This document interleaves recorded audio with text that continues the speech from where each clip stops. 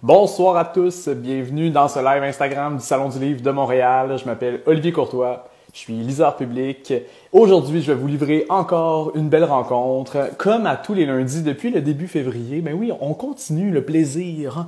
On vous sentez le plaisir ce soir. Ce soir, on va avoir la chance donc dans le cadre de À livre ouvert, dans le cadre de l'IMOI Montréal, qui a plein d'initiatives, de recevoir Monsieur Kevin Lambert pour parler entre autres de querelle de Robert Val, mais de parler aussi de ses coups de cœur, de parler aussi euh, euh, de, de, de, son travail. Si vous avez des questions tout au long du live, vous êtes là. Hein? Je vous vois apparaître. Bonjour à tous ceux qui se connectent.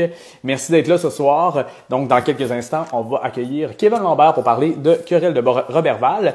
C'est des rendez-vous assez décontractés hein, qui durent bon, environ quoi une trentaine, une grosse trentaine de minutes. Et euh, évidemment, on va avoir un concours également. Vous pouvez gagner une copie de Querelle de Robert Val au cours de ce direct. Vous avez juste à repérer un jour dans la discussion l'indice et euh, vous pouvez l'envoyer en message privé euh, au Salon du Livre de Montréal et vous pouvez gagner une petite copie de Querelle de Robert Val. Oui, on va faire donc un gagnant ou une gagnante demain midi pile ceux qui vont avoir participé en donnant l'indice. Sinon, bon, euh, qu'est-ce qu'on a d'autre à dire? Ben, euh, sans plus attendre, je vais voir, est-ce que Kevin est là? Oui, il est là. Bonjour à ceux qui se joignent à nous. Hein, on reçoit donc Kevin Lambert dans quelques instants, qui c'est tout doucement et comme par magie, il est là. Salut Kevin. Allô? C'était beau ton front au départ, c'était vraiment comme ben, ça. Je comprends comme pas comment je vois mal dans mon écran où je suis. En tout cas, je sais pas si je suis correct. Le là, Là, c'est quand même bien. Tu peux descendre encore un petit peu. Ah, magnifique, comme ça, c'est super. OK, c'est bon. je vais garder cette position.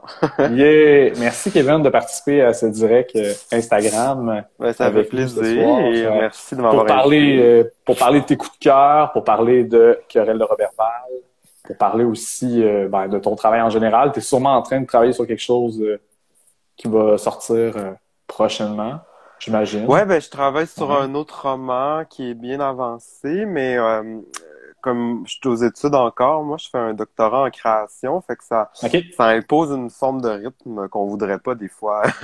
le mhm. doctorat en création, c'est-à-dire que, tu sais, mettons, le roman sur lequel je travaille, je j'ai pas le droit de le publier avant d'avoir soutenu ma thèse. Fait que là, je, comme j'essaie de naviguer entre tout ça, là, dans tout ça. Euh, Hmm. Un, peu les études, puis un peu. Ça va pas très bien ensemble des fois, les, les études et la création, mais c'est la beauté de la chose peut-être. Mais pour toi, est-ce que ça t'encourage dans tes études ou euh, tu sais, c'est comme un, quelque chose de motivant que tu te dis bon ben je vais publier quand je vais avoir terminé, c'est vraiment comme un objectif là. Mais je serais pas au doctorat si j'étais pas en création, je pense. Je, j'admire, j'admire vraiment l'université puis les, euh, les gens qui font plus des, des, des, travaux scientifiques et tout, mais moi j'ai pas une tête pour ça. Là. J'ai, j'ai, ça, j'ai, trop une, un, un, je sais pas, je, je, je trop, je pense. J'aurais la misère à me, à devenir spécialiste de, d'une époque ou d'un auteur ou de. Mm-hmm.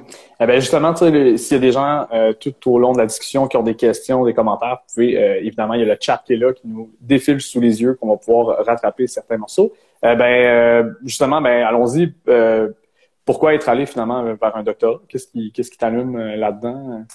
Qu'est-ce qui, qui t'allume plus que la création ou en du moins pourquoi ce chemin-là que que tu emprunté? C'est une bonne question. Je te dirais que c'est des questions que je me pose en ce moment, d'ailleurs. Ah ouais, OK. non, mais tu sais, avec la pandémie, on dirait que faut tout te remettre en question. Puis, en tout cas, moi, je, suis beaucoup là-dedans. On dirait que les, les choses deviennent moins claires, que qu'est-ce qu'elles étaient. Euh, on... Tu sais, je sais pas, en temps normal, on a, on a aussi moins de temps pour se questionner sur la direction qu'on prend. On fait juste prendre le chemin puis on y va. Puis là, en tout cas, mm-hmm. pour moi, c'est plus un, un moment où, euh, c'est ça, je me demande. Puis aussi, ça fait un, drôle d'effet, je trouve, où, comme, euh, sais, entre faire les choses puis pas les faire, il y a moins de différence qu'en temps normal. Je sais pas comment l'expliquer, là, mais tu sais, mettons, j'ai l'impression qu'il y a plein de choses que je fais en ce moment. Tu sais, je sais pas, des fois, je dois remettre des textes, mettons, des trucs comme ça. Mais j'ai souvent l'impression que si je le faisais pas, ça changerait rien, tu sais. Alors qu'en temps normal, j'ai pas cette impression-là. Mais, mais, euh, mais l'avantage, je pense, ce qui est vraiment précieux avec la, l'université puis la création à l'université, c'est que tu as une, une sorte de, de groupe avec toi qui, qui, qui, qui te donne un retour sur tes textes. Fait que mm-hmm. Fait que t'as as une sorte de, de retour direct sur ce que t'écris, puis t'as la chance aussi de, de commenter les textes des autres, puis aussi de penser ce que des écrivains ont fait, puis des écrivaines quand euh, dans les cours de création, moi j'en ai donné aussi des cours de création, mais moi j'analyse quand même un peu différemment les, textes dans un cours de création que dans un cours, mettons, euh, d'histoire la littérature ou de, whatever quoi. Là. Parce qu'on on, on essaie de comprendre en fait comment ça marche, tu sais, c'est quoi les mécanismes, comment euh, comment les, auteurs ont essayé d'écrire ça. Fait que plutôt que voir le texte comme un truc euh, stable, fini, fixe, ben on le voit comme une sorte de potentialité parmi d'autres, tu sais, au fond. Fait que moi, c'est ce que j'aime, je pense, de, de l'université. Puis justement, tes lectures, j'imagine, sont dirigées vers ce que tu fais en ce moment comme étude. C'est quand même ou tu es capable d'aller vers des lectures de plaisir aussi, puis des lectures pour décrocher euh... carrément. Es-tu capable de, faire la part des choses ou tu es vraiment concentré comme très pointu? Moi, je peux pas lire juste des choses euh, que je dois lire. Tu sais, je, je, deviens fou. Faut vraiment que je lise des choses euh, pour le plaisir. Puis, comme aussi, je me rends vraiment compte que quand je m'impose une lecture, souvent je, je l'apprécie moins, tu sais. Fait qu'il y a une partie, parce que tu sais, on, veut toujours aussi euh, tu sais, je sais pas, là, euh, il y a comme une sorte de pression involontaire qu'on se met à, à, lire certaines choses. Des fois, tu sais, comme, ah, le livre dont tout le monde parle, mettons, ben, tu sais, là, faut que je lise, ce livre-là, tu sais, mais, euh, mais des fois, je me rends compte que quand je lis pour ces raisons-là, j'enjoy moins mes lectures. Fait faut aussi que je lise euh, juste le truc vers lequel je suis porté ou que soudainement j'ai envie de lire puis qui est pas du tout, euh, je sais pas, là, qu'il n'y a rien qui m'oblige à le lire ou qui m'invite à le lire en ce moment. Hmm. je pense que ouais, justement, ouais, ce, ce, ce sentiment-là d'imposteur, là, quand t'es es arrivé à Montréal, dans le fond, euh, t'es originaire de Chicoutimi, si je ne me trompe. Euh, t'avais, avais ça un peu, hein, euh, j'imagine des lectures que t'as lues, genre du Amos d'Aragon, ou euh, que t'es arrivé finalement dans la communauté euh, littéraire montréalaise, tu te disais, boy, j'ai peut-être pas lu tout ce que les gens ont lu ici, mais t'as eu des, des, des, des, romans, des trucs coup de cœur qui t'ont marqué, mais aussi t'as des lectures de plaisir comme je sais pas si c'était une lecture de plaisir, là, à Moss d'Aragon, probablement, parce que moi, j'ai éprouvé du ben plaisir quand j'ai pas toute la série, mais quand j'ai ouvert ça, ça me faisait du bien d'y aller, mais t'avais avais besoin de ça, puis est-ce que tu as, eu un complexe d'infériorité en arrivant, justement, dans, je sais pas, à Montréal, puis en partageant, justement, en, étant dans un doctorat, peut-être que tu te sens avec ton Amos d'Aragon qui est comme oh, je suis pas sûr mais j'ai eu un gros un gros complexe d'infériorité puis je l'ai encore en un sens parce que tu sais, ben, quand je suis arrivé à Montréal, mettons, je, je, constatais juste que, mettons, avec des gens avec qui j'étudiais, qui eux avaient, qui étaient passés par d'autres parcours, d'autres cégeps, d'autres secondaires. Euh, moi, au mm-hmm. secondaire où j'allais, on lisait pas vraiment de littérature, tu sais, mettons. Puis, euh, tu sais, je me sentais vraiment mal. Puis aussi, les, les, profs en littérature, je les aime, évidemment. Mais, tu sais, ben des fois, y a, on, on, a, puis je m'inclus là-dedans, tu sais, on a cette tendance-là, quand on parle de littérature, à faire comme, évidemment, euh, tu sais, comme Bernanos, que vous connaissez tous, et toutes, mais, euh, mais tu sais, quand t'arrives à, à, l'université, tu sais peut-être pas c'est qui Bernanos, tu sais, mais, mais des fois, les, c'est comme sous-entendu que tu le sais, puis là, tu fais comme, oh shit, mais moi, je sais pas c'est qui, je suis cave, tu sais, qu'est-ce que je fais là? Mais, euh, mais c'est ça, mais, fait que moi, j'ai, tu sais, je suis venu à la, à la, littérature littéraire, entre guillemets, tu sais, pour reprendre cette distinction-là qui est critiquable, entre la littérature populaire et la littérature, euh, de niche, disons. Mais euh, tu sais, j'y suis arrivé tard, moi. Là, suis arrivé. Euh, tu sais, le, premier livre de, de littérature entre guillemets que j'ai lu, c'est en secondaire 5, je pense. Puis c'est surtout au cégep en fait là. Mm Avant ça, je lisais beaucoup, mais je lisais euh, des trucs, euh, tu sais, des romans policiers, des romans de fantasy, beaucoup. Puis euh, tu j'en ai même eu honte. Tu sais, il y, a un moment où je, à moi-même, je me l'avouais pas, ou tu sais, je, je l'oubliais, ou. Mais aujourd'hui, je ça fait partie de ma formation de, de lecteur, tu sais, fait que je trouve ça je trouve ça riche, je trouve ça intéressant de d'être arrivé par là, tu sais, plutôt que, que par, je sais pas, Balzac ou Hugo. Puis... Tantôt, tu as dit le, le, roman dont tout le monde veut, lire. En tout cas, mais est-ce que tu as eu l'impression que, embarquons là-dedans dans Querelle de Robert Val, ça a été quand même, ou en tout cas même c'est un roman que les gens disent Hey, il faut vraiment lire ça. Ça a été là, un des romans dans la littérature québécoise dans les dernières années de faire comme OK, faut, faut que tu attrapes ça, faut que tu lises ça. As-tu eu l'impression de ça ou? Bon, ben moi, j'ai pas eu envie de le lire, fait que je, peux, je choisi pour le mais, dire. mais tu te senti quand même, parce que c'est ton deuxième roman, il y a eu un premier roman euh, qui a eu un certain succès, puis ben, après ça, il y a eu Querelle de Robert Val qui a eu, je pense, un succès, et qui a encore un succès. Ce qui, ce qui est intéressant, c'est que on dirait que les gens le, le découvrent et le redécouvrent, puis il y a plein de gens qui s'y lancent. On a, on a publié là, sur Instagram, sur Facebook, euh, euh, la photo de Querelle de Robert Val, puis c'est une des photos qui a eu le plus de commentaires sur le livre, tu sais, qui fait réagir, fait réagir de différentes façons en plus. Fait mais je suis, pour, être vraiment sincère, là, ça me, je, suis vraiment étonné que ce livre-là ait été ouais. je, je m'attendais pas du tout à ça, en fait. Puis même, okay. au, au, moment, euh, juste avant de le sortir, j'avais j'avais honte, je voulais plus sortir, j'étais comme je l'aimais plus, j'étais j'étais mais tu sais c'est compliqué là, en tout cas moi mon rapport avec les choses que j'écris, tu sais c'est jamais un rapport euh, je peux jamais dire euh, que je suis complètement fier ou que j'aime ça ou que tu sais c'est c'est plus euh, c'est plus grinçant que ça mettons là.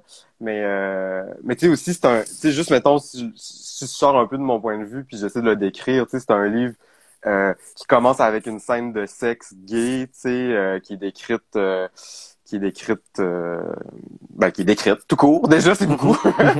Mais euh, puis, euh, tu sais, c'est un livre aussi euh, assez violent où on, on est, sais, on est avec des personnages qui sont qui sont loin des, je sais pas là, des gens du milieu littéraire, mettons, tu sais, ou c'est un c'est un c'est un, un milieu qui est pas celui de de Montréal ou de fait qu'il y a ça, il y a aussi le fait que c'est ça, c'est un livre violent, il se passe des affaires vraiment trash, tu sais, dedans. Mhm, fait que moi, tu sais, dans ma tête, en moi, il y a c'était comme il y avait tout pour que le livre soit pas vraiment lu puis que les gens soient assez mal à l'aise en fait puis fassent comme ouais ça c'était le goût de lire euh, des un des trucs porno puis des trucs euh, avec des cannibales puis des, des, des genre lis ça mais sinon tu sais fait je je comprends pas trop pourquoi en fait les gens ouais.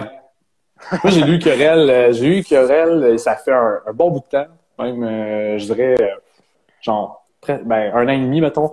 Euh, je savais pas trop comment sortir de cette lecture-là. Tu sais, ça, je suis content d'en parler pas mal plus tard que tout de suite après mm. l'avoir lu parce que ça brasse, il y a plein d'affaires qui, qui, Il y a le personnage de Querelle, qui est le personnage un peu central, qui vient, qui apparaît justement dans, dans ce Robert Val en plein conflit syndical qui se retrouve finalement à travailler dans cette usine-là, qui, a des relations très ouvertes avec plusieurs personnes. Euh, du moins, il, y a comme un, aura, euh, un aura sexuel qui est autour de lui. Euh, c'est un personnage aussi, c'est ça, puis il y a de la violence à travers ça.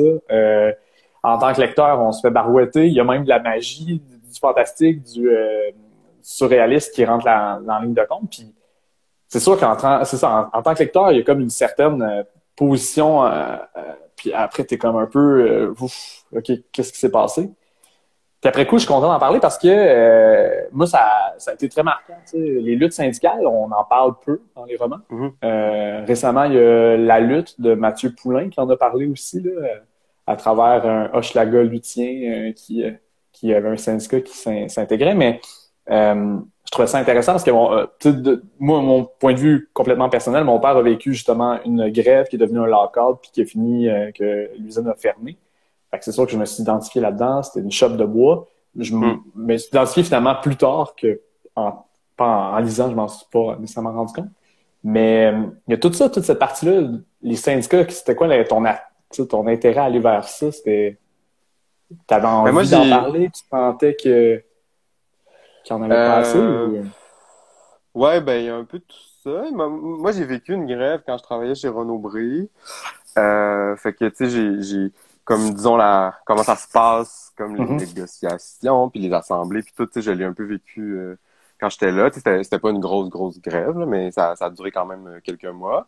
Puis j'ai vécu 2012 euh, quand j'étais au cégep euh, à Chicoutimi. Fait que, mm moi, mon, disons, mon éducation politique s'est beaucoup faite euh, à ce moment-là. Puis je trouvais que, ouais, ben, tu sais, j'avais envie d'écrire sur, ben, sur la réalité régionale, en fait, que, que, que moi j'ai connu, ben, pas, pas que j'ai connu parce que j'ai pas travaillé en foresterie, mais tu sais, mes oncles travaillent, j'ai des oncles qui travaillent en foresterie, tu sais, j'ai, dès que tu es au Saguenay, il y a des gens dans ton entourage qui sont dans ce milieu-là parce que c'est quand même beaucoup des beaucoup des emplois qui sont soit en foresterie, soit dans les à l'Alcan, mettons, dans les usines comme ça. Mhm. j'avais j'avais envie de décrire ce, ce phénomène-là où en fait les les les gens sont travaillent pour des très grands groupes souvent. Moi, moi c'est un, une petite usine quand même que je mets en scène, mais, mais j'avais mhm. quand même envie de parler de, de ce phénomène-là où c'est ça, des gens travaillent pour des très grands groupes, souvent des multinationales. Fait que ça fait que le rapport de force euh, historique ou tu sais habituel entre les l'exemple que je donne souvent c'est parce que tu sais j'ai lu évidemment beaucoup de textes euh, qui racontent des, des soulèvements ou des grèves pour euh, écrire ce livre-là puis un exemple que je trouve intéressant, c'est Germinal, le zoo là. peut-être qu'il y a des gens qui l'ont déjà lu là, qui sont qui nous écoutent, mais euh, dans Germinal, c'est vraiment fascinant parce que c'est une mine. Donc, c'est un, un, roman du 19e siècle en France. Euh, puis c'est une, une, mine dans un petit village. Puis là, à un moment donné, les, les, les mineurs puis les familles de mineurs se, se, révoltent contre les patrons. Mais les patrons, on sait sont où. Ils vivent dans un quartier à côté de la mine, tu sais, puis euh, c'est eux qui exploitent. Ils font partie du village. et c'est ça, ils font partie du village. C'est eux qui exploitent la mine, c'est mm. eux qui exploitent donc les, les, autres travailleurs puis les, les, travailleuses. Donc, donc quand, quand t'as envie de te rebeller, t'as juste à aller chez eux puis rentrer dans la maison puis bardasser, tu sais. Mais comme euh, la situation au, au, au lac Saint-Jean, tu sais, c'est pas ça du tout parce que c'est des grands groupes euh, qui, qui envoient, tu sais, qui c'est des financiers qui finissent par gérer finalement une fiducie qui gère ça puis qui qui est, qui, est dirigée par euh, finalement un autre travailleur, c'est juste qu'il a un meilleur poste que toi, tu sais. Que c'est pas directement lui l'exploitant. Fait que ça crée des rapports de pouvoir beaucoup plus complexes. Tu sais, le capital fonctionne comme ça souvent, tu sais, c'est, c'est en, en opacifiant puis en complexifiant les rapports de domination pour justement que la, la révolte devienne encore plus difficile, tu sais. Mm-hmm. c'est un peu ça qui, qui, je pense, entre autres, qui m'intéressait dans, dans ce milieu-là, disons. Puis, ben, il, y a, il y a aussi, ça a été marquant aussi au Saguenay, euh, il y a eu euh, les concessionnaires d'automobiles qui ont eu des grosses grèves euh, vraiment difficiles, entre autres à Dolbeau, à Mistassini. il y a vraiment eu ça. J'imagine aussi que ça, ça fait brasser des choses quand on est jeune, puis on assiste à ça, puis il y a un, un certain... Ouais. Ben, tout... Euh... Même entre eux, parce que c'est tellement... c'est tout, tout proche l'un de l'autre, puis il y, a quelque chose qui, se crée, puis dans, dans Querelle de Robert Valle, il y a ça aussi, là, la confrontation est pas seulement euh, devant l'usine, mais aussi à travers le village, la ville, euh, à travers les relations humaines euh, des gens que finalement le boss c'est pas nécessairement juste la mauvaise personne. Mais non, tout ça se répercute vraiment dans les dans les relations humaines. Puis moi, un truc aussi qui m'avait vraiment frappé, ben quand, quand j'étais très jeune, il y avait la grève des concessionnaires à Chicoutimi, puis ça, ça m'avait ça m'avait frappé parce que mon autobus passait sur le boulevard Talbot, puis je les voyais, tu sais, tous les jours en allant à l'école. Et puis je en, en fait, tu comprends pas pourquoi, ben tu sais, ton pré-ado, je vais avoir 12 euh, ans, je comprenais pas pourquoi il y avait des gens, tu sais, qui, qui faisaient des, des feux d'or avec des pancartes puis des roulottes, puis on nous l'expliquait mm-hmm. pas vraiment non plus, tu sais. Puis euh, aussi, il y avait eu la fermeture de la console à la baie. Donc, à, à la baie, il y avait une grosse papetière euh, d'Abitibi Consolidated, à un elle a fermé. Puis il y a eu un gros soulèvement populaire, tu sais, pour que la console reste ouverte, parce que c'est c'est des jobs, tu sais, c'est c'est mm-hmm. euh, ben oui oui, c'était comme une grosse partie des des jobs de la baie, mais quand même sais, comme avec le recul, moi, quand quand j'y repensais, je trouvais ça quand même fou, tu sais, que tu sais, c'est tellement humiliant pour des travailleurs et des travailleuses d'avoir à non pas euh, sais comme faire la grève puis se, faire des revendications pour avoir des meilleures conditions de travail, mais pour simplement garder leur travail, tu sais. Mm-hmm. Finalement, sais, en, en, un sens, c'est des gens qui se retrouvent à, à, demander que, tu sais, si on, on, a un angle marxiste, disons là, ou, ou anticapitaliste, puis on, on voit le, travail comme un, comme un rapport d'exploitation, là, comme un rapport de, de, de, de, c'est ça, donc, donc c'est, c'est, on, on, se retrouve, ou les, gens qui, qui les, travailleurs concernés, ils se retrouvent à, à devoir se mobiliser pour que l'exploitation continue, tu sais, pour mm-hmm. que le, la, la mais tu sais, on est dans une, dans un monde aussi où c'est difficile d'avoir d'autres alternatives, donc tu sais, c'est, normal que, que ça se produise, là, puis je suis, je suis solidaire de ces, de ces revendications-là, mais, mais quand même, tu sais, quand, quand on, en tout cas, moi, je que quand on le regarde avec un angle un peu marxiste, justement, tu sais, c'est ça, on se retrouve dans des situations où on doit nous-mêmes, tu sais, dans le milieu littéraire, c'est la même chose un peu, là, tu sais, en ce moment, l'UNEC fait des revendications pour les auteurs, tu sais, mais si, si on regarde qu'est-ce qui se passe dans un angle anticapitaliste, c'est que en ce moment, les auteurs, on demande à avoir un peu accès au salariat, tu sais, mais, mais le salariat... Le même statut, ouais, le, le carrément le même statut finalement qu'un artiste, euh, que les autres artistes aussi. Oui, c'est ça. Mais le, mais le salariat, c'est pas, euh, c'est pas la liberté, hein. Euh, le salariat, c'est une structure qui vise à compenser le fait que tu donnes ta force de travail à quelqu'un d'autre qui lui en tire une plus-value. Fait que lui, dans, dans le fond, quelqu'un fait de l'argent, puis lui, il a besoin de, de, main-d'œuvre pour ça. Puis le salariat, c'est comme l'espèce de compensation qu'il qui donne aux individus pour parce que les, gens travaillent, tu sais, mais mais le travail c'est pas la liberté là, c'est c'est ça c'est juste pour dire que en tout cas pour moi, c'est important de voir les choses. Euh, comme, comme je l'ai dit tantôt, encore une fois, je suis, vraiment solidaire de l'UNEC, puis je trouve que c'est vraiment primordial que les écrivains et les écrivaines aient accès à, à des meilleurs salaires, puis qu'on reçoive un peu d'argent parce qu'on est, on est, on est vraiment pas choyé à ce niveau-là. Mais, euh, mais c'est ça, je pense aussi que, en tout cas, moi, j'ai envie de garder aussi un, regard critique sur, mais tu sais, tout ça participe quand même d'un modèle dans lequel on est en ce moment, puis il faut mm-hmm. penser qu'il y a d'autres modèles possibles aussi, tu sais. Mm-hmm. Puis à travers, ben, à travers ton roman, il y a le personnage de Querelle, qui est un personnage. Ah, c'est étrange, écouté des entrevues, j'écoutais des, des trucs, on parle peu de, de Querelle, en fait. Puis euh, pour moi, c'est il est encore là, il est encore dans mon arrière, mm. dans l'arrière de ma tête. C'est un personnage qui est très attachant, très euh, absorbant. Euh, les personnages sont absorbés, mais en tant que lecteur aussi, on est absorbé par Querelle. On essaie de comprendre mais pourquoi, qu'est-ce qu'il fait là à Robertval, pourquoi il travaille dans cette usine-là, pourquoi il courtise autour? Il, y a, il, y a, quand même beaucoup de mystères autour de Querelle. Puis mm-hmm. on se demande même, mais c'est-tu juste un humain finalement? Y a-t-il quelque chose de maléfique derrière ça? Y a, en tout cas, c'est un personnage qui, est plus grand que, que le roman, même. On dirait, il est là encore, là, tu sais. Il sort du roman, il vient nous envahir, puis il est très envoûtant, euh, ce querelle. T'avais-tu une inspiration euh, pour querelle? Y a-t-il quelque chose que, qui t'avait allumé pour, euh, pour construire ce, ce personnage-là? Ben, il, est beaucoup inspiré évidemment du personnage de, de Genet, de Querelle de Brest. Ça, ça a été quand même un de mes trucs. Mais je pense que je voulais l'écrire un peu comme, tu sais, quand on connaît quelqu'un, mais qu'on on le connaît pas tout à fait. Tu sais, mettons là, je sais pas, là, je, je vais donner un exemple de cercle d'amis, mais c'est pas très pandémique là. Mettons, ça fait longtemps qu'on n'a pas été dans des cercles d'amis, mais ouais. euh, mais tu sais, quand t'es dans un party, mettons, puis là, il y a quelqu'un que tu croises, puis là, tu t'en as entendu parler de cette personne-là, puis tout, puis là, tu dans une autre soirée, tu la revois, puis tu la recroises à moment au théâtre, puis mais le rapport qu'on a avec avec ces gens-là qu'on connaît un peu par oui dire, mais pas trop, puis qui peuvent être potentiellement attirants ou intrigants ou mystérieux. Euh, c'est un peu c'est comme si c'était un peu ce rapport-là que je voulais donner à Querelle dans le livre, tu sais. Donc trouver des, des stratégies d'écriture qui qui nous donne cette espèce de familiarité, mais étrangère en même temps.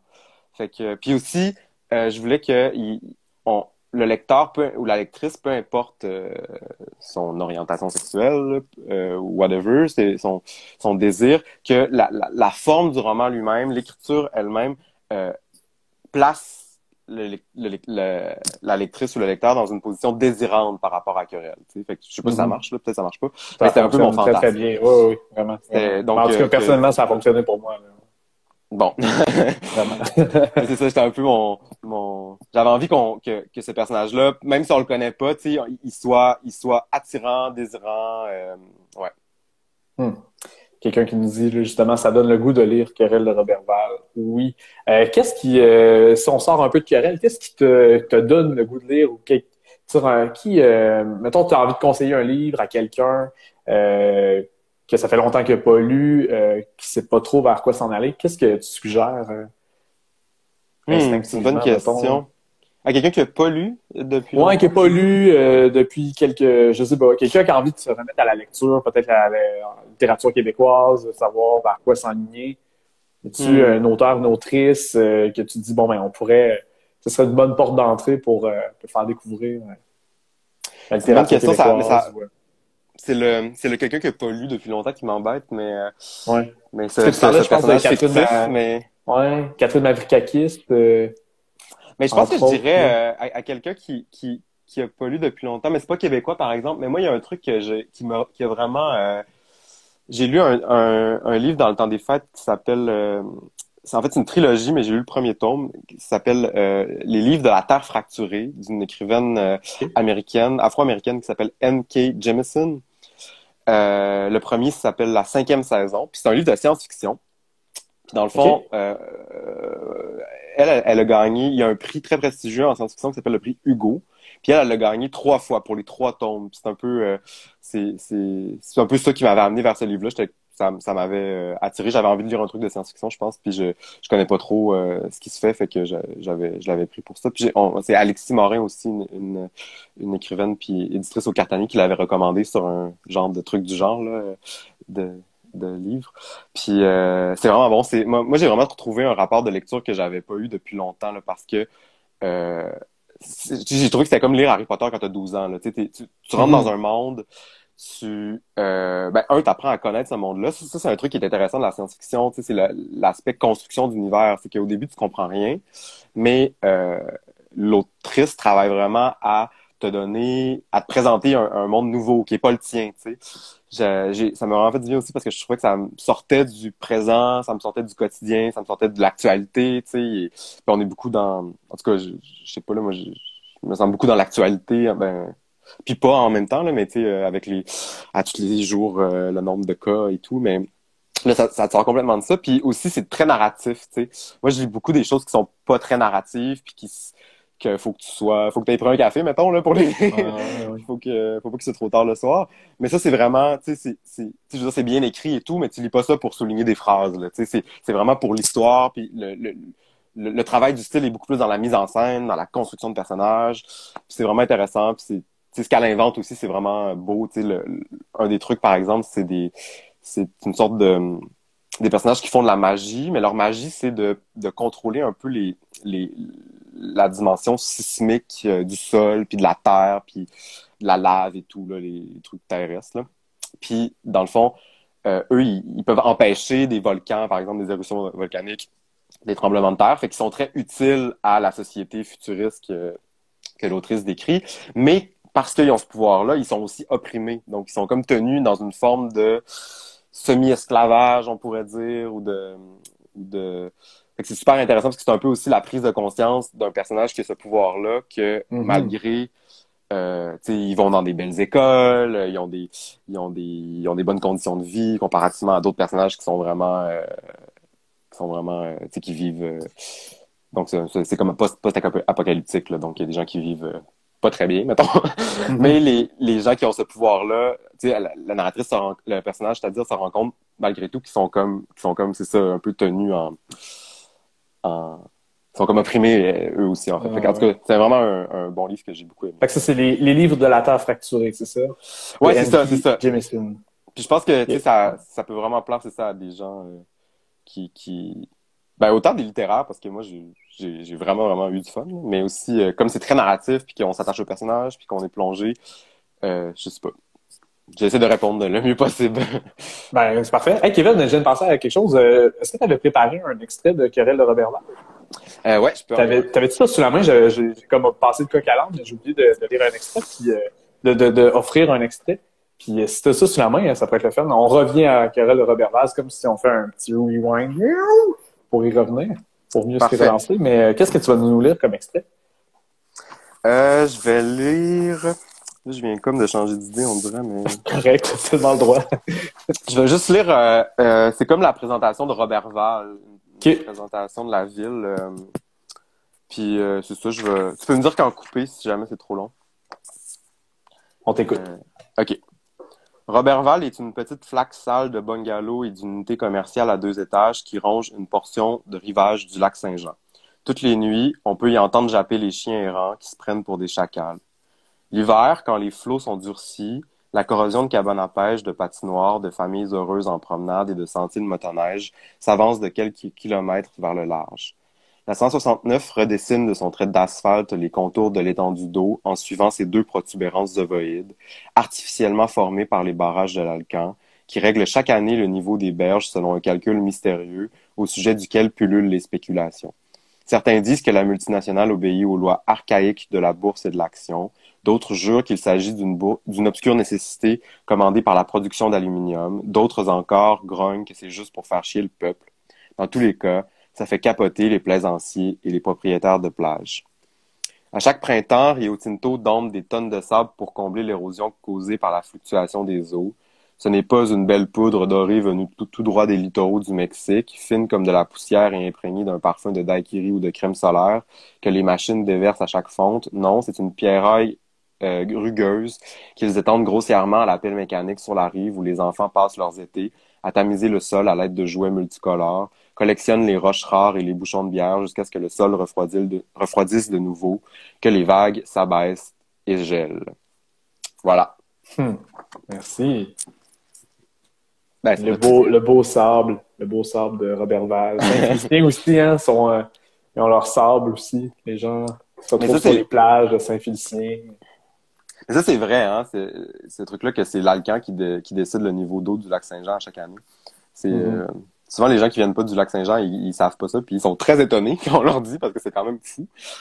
Euh, puis là, tu sais, genre, au lac Saint-Jean, on est vraiment fiers de, tu sais, avec raison, là, genre, c'est beau, le lac Saint-Jean, c'est comme, c'est magnifique, la mer intérieure, le royaume et tout, mais tu sais, genre, c'est une multinationale qui a, qui commande jusqu'à l'auteur de l'eau de ce lac-là. C'est quand même fou. En tout cas, il y a des gens qui doutent de l'emprise euh, des euh, la finance sur nos vies. Là. Contrôle une mer. une mer intérieure. C'est pas rien. Kevin, euh, j'ai lu, j'ai tout juste de finir de lire Le Lièvre d'Amérique. Je sais pas si tu as eu la chance de Non, je l'ai pas lu. je trouve ça super intéressant parce qu'on on est encore aussi, ben, on, part d'une légende en, tant que telle. Puis euh, je trouvais qu'on retrouvait aussi la, la, magie qu'on pouvait retrouver dans, dans Querelle de Robert Val.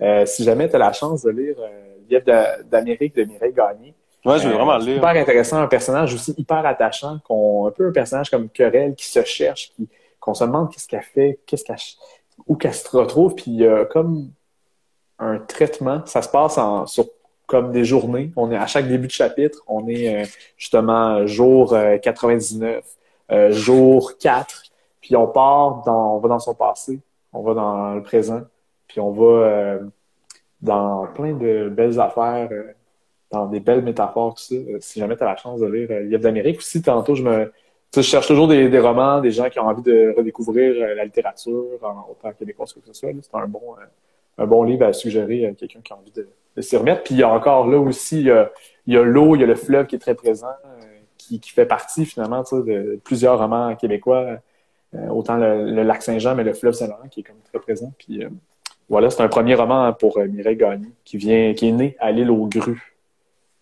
Voilà. J'avais envie de t'en parler, te le ben, je, vais... je, je me suis déjà dit que j'allais le lire, donc ça, ça confirme mhm. encore plus. Mais moi, je peux-tu t'en recommander un en échange? Ben oui, certainement, certainement. J'ai lu, moi, la, cette semaine, le dernier livre de France Théoret qui vient juste de sortir. OK. Ouais, qui s'appelle La forêt des signes. France Théoret, c'est une, c'est une écrivaine québécoise qui publie depuis euh, les années 70, je dirais. Je vais pas dire n'importe quoi. Euh, qui est une poète, qui est une romancière. Euh, puis ça, c'est comme... C'est vraiment un livre un peu inclassable, mais c'est entre l'essai puis les mémoires, je dirais. puis c'est vraiment sur sur la formation d'une écriture. Comment comment cette écriture là qui s'appelle France Théoret est apparue euh, en portant quel bagage, en portant quel questionnement, puis toujours dans une langue. Euh, c'est pour ça que je l'ai pas dit tantôt quand tu m'as dit euh, euh, un livre pour quelqu'un qui lit pas beaucoup, que parce que c'est pas, tu sais, c'est pas un livre facile, c'est pas, mais c'est ce qui est, c'est ce qui est intéressant, c'est ce qui est bon de ce livre-là, c'est que c'est une langue vraiment toujours un peu fuyante, qui est pas du tout dans un fantasme de clarté ou de, ou de transparence ou de, de le, le, le l'objectif, c'est pas de, de, de, porter un message. Puis France Théoret est assez allergique à cette conception de la littérature-là, mais ça fait du bien à lire, je trouve, de, de une autrice qui, qui, qui a toujours défendu une forme de, de formalisme, un féminisme aussi. Euh, ça, c'est vraiment, euh, ça a vraiment été euh, même la, l'origine de son écriture, ça a été la, la prise de conscience féministe, mais qui a toujours aussi défendu avec cette, cette, cette démarche féministe-là un formalisme euh, sans concession. Donc, c'est vraiment euh, euh, dans un. C'est ça, une littérature qui veut pas qui veut pas être simplement dans la dans le dans la communication, disons. Donc, la, la, la, force du texte passe par des effets beaucoup plus beaucoup plus complexes que euh, c'est des phrases très courtes, euh, généralement, très assertives, très affirmatives. C'est vraiment, c'est vraiment fascinant parce que c'est super touchant aussi, parce que c'est vraiment une femme qui a eu beaucoup à s'affirmer dans sa vie euh, pour mener une œuvre, pour exister en littérature, exister tout court. Puis on le ressent dans sa phrase. la phrase est très affirmative, mais c'est une affirmation qui est pas autoritaire. Je, je sais pas comment l'expliquer là, mais c'est vraiment, c'est une affirmation qui est comme qui est juste vrai, je pense. C'est comme si, c'est comme si elle avait, elle avait trouvé sa, sa, euh, sa vérité. J'aime pas ce, mot-là d'habitude, mais là, je vais l'utiliser. Mais, euh, puis qu'elle, qu'elle, faisait juste nous, nous, nous, partager sa vision de sa vie, sa vision du monde. Puis il y a une grande, grande, grande euh, force dans ce texte-là. C'est aussi un portrait du Québec, évidemment. Euh, euh, donc de la Révolution tranquille. Du... c'est aussi quelqu'un qui a toujours été un peu euh, pas dans son époque. Elle n'a jamais été complètement dans l'air du temps.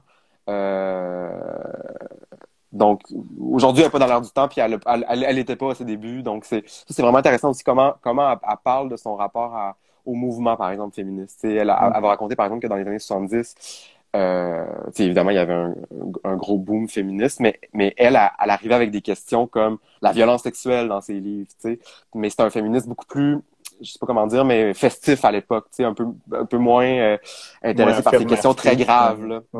Puis elle, elle, parle de ça, comment elle est arrivée avec ces questions-là à cette époque-là, qui sont des questions aujourd'hui qui sont très actuelles, là, puis vraiment au cœur de, de, de, de, de l'actualité.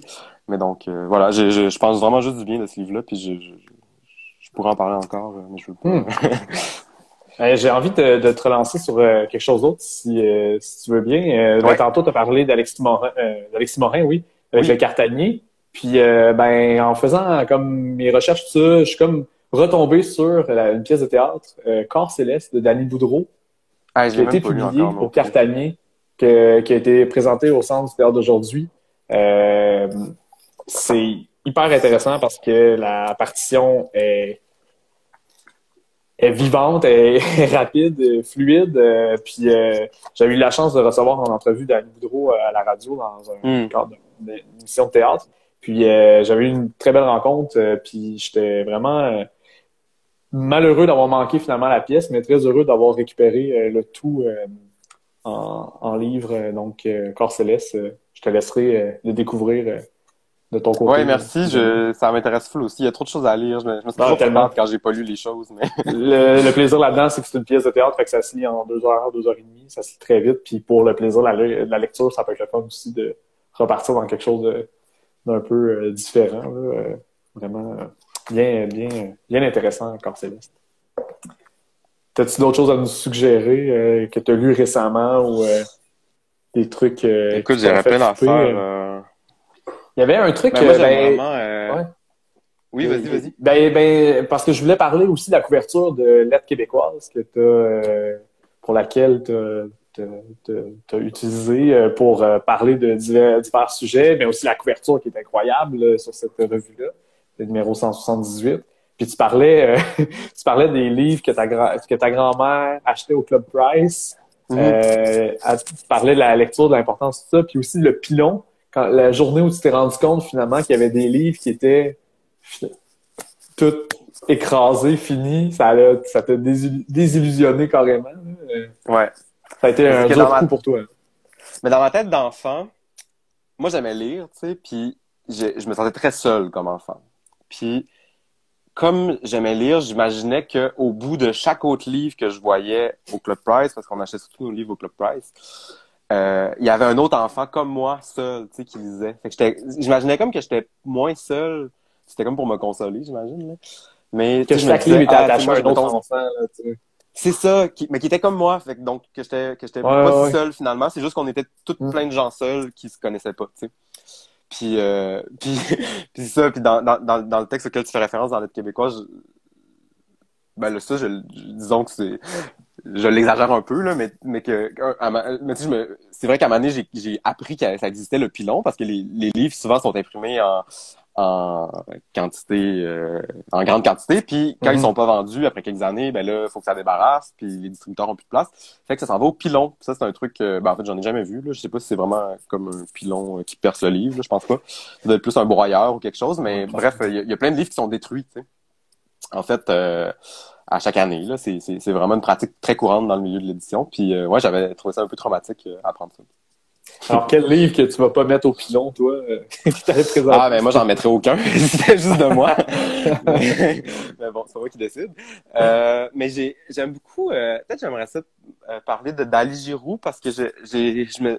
Je sais pas si elle, Je pense qu'elle est connue par les par les gens peut-être du milieu, peut-être universitaire, ou les gens qui s'intéressent euh, à ces questions-là, mais peut-être moins... Euh, Dali euh, Giroux. ouais, du grand public. Et Dali Giroux, c'est une, une, essayiste québécoise qui travaille sur les questions postcoloniales, sur l'histoire québécoise, mais aussi beaucoup en rapport avec l'histoire des premiers peuples.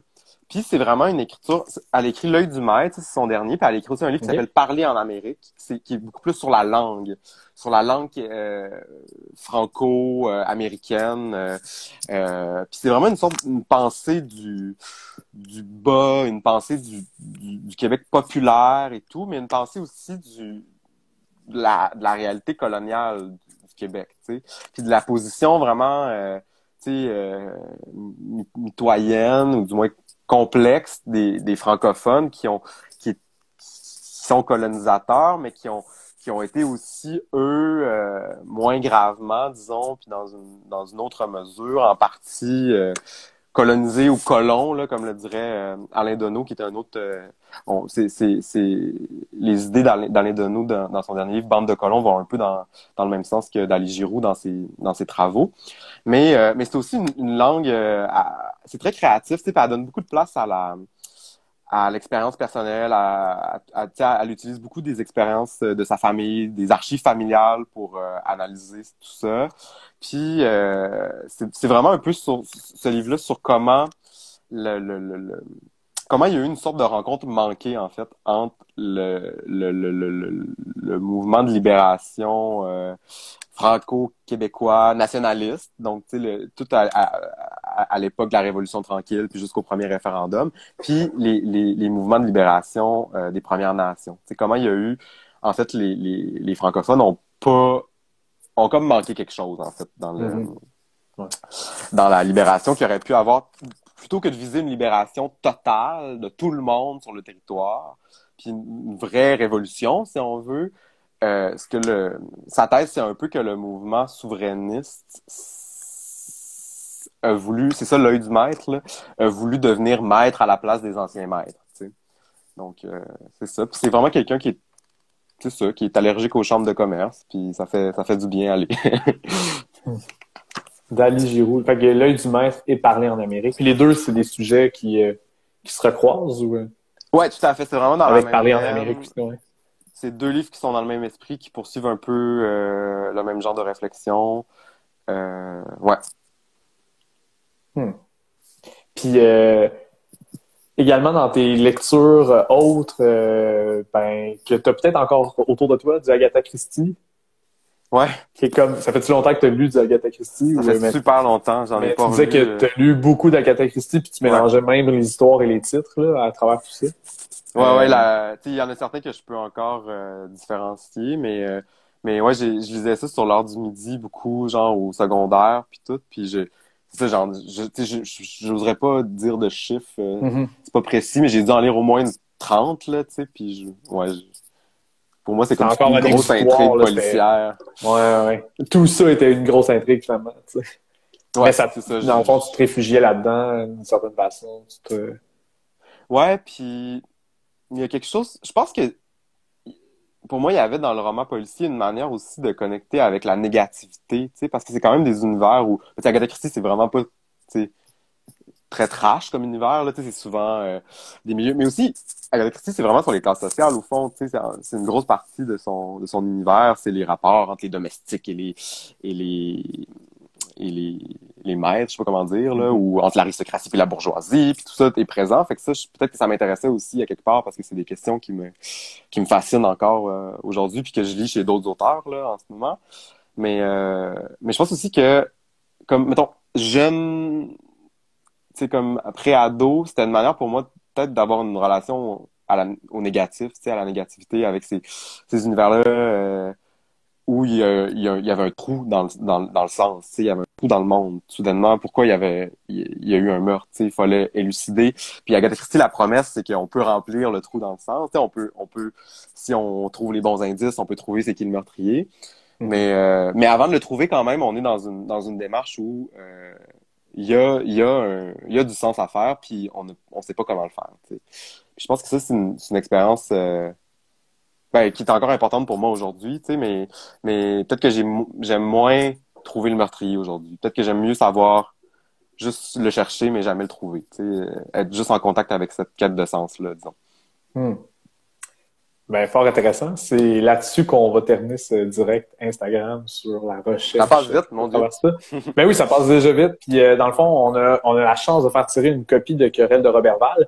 Et là, je vais tester euh, donc euh, les, les, les, passionnés de géographie qui nous écoutent dans le direct Instagram. Dans le fond, l'indice pour remporter Querelle de Robert Val que vous devez écrire en messagerie privée avec le Salon du Livre de Montréal, c'est le lac qui est autour de Robert Val. Je suis sûr qu'il y a des gens de Montréal qui ont aucune idée. On l'a mentionné dans le direct. Donc, le lac, le lac qui est autour, en face, en fait. Robert Val a probablement le plus beau point de vue de ce lac-là. En tout cas, c'est un, très beau point de vue. C'est un gros débat que tu parles là, Je pense que si tu veux que ça finisse bientôt, on ne devrait pas s'aventurer là-dessus. c'est ça, c'est ça. c'est sûr qu'il y, a plein de beaux endroits. C'est sûr qu'il y a des endroits où le coucher de soleil est incroyable, mais tu sais, quand on est à Robertval, on voit ça, On voit cette mer-là devant nous c'est incroyable. c'est magnifique, c'est sûr. Vraiment, vraiment. Ben, merci beaucoup, Kevin, d'avoir partagé ce doux moment ben, avec nous toi. dans le cadre de Livre ouvert, de nous avoir euh, suggéré des livres. Puis toute la liste des livres va être euh, aussi disponible euh, donc demain sur la page Instagram du Salon du Livre de Montréal pour que les gens puissent retrouver les morceaux dont on a parlé. Il y a plein de gens qui te disent merci.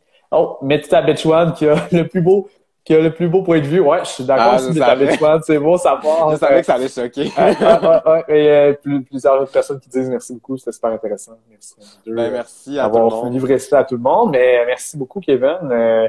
Euh, j'espère que ce rendez-vous va, euh, va se retrouver sur, dans, sur le plancher du Salon du Livre de Montréal, en vrai. Ah, je nous le souhaite. On se le souhaite à tous.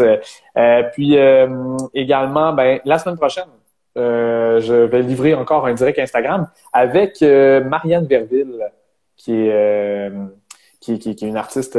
ah, regarde, il y a déjà des gens qui rentrent. Lac Saint-Jean, je reste au Saguenay. Bon, voilà, OK. mais donc, Marianne Verville, la semaine prochaine, on aura la chance de parler aussi de ses coups de cœur littéraires, puis parler de la présence de sa lecture, la lecture dans sa vie à elle. Donc, merci Kevin d'avoir été avec nous dans ben, ce merci à toi. live qui est euh, organisé par le Salon du Livre de Montréal. Je suis le leader public et il y a le secrétariat à la jeunesse qui nous offre ceci. Et donc, n'oubliez pas l'indice pour querelle de Robert Val, question géographique, le lac qui se retrouve devant Robert Val. Merci beaucoup. Bonne soirée. bye. bye.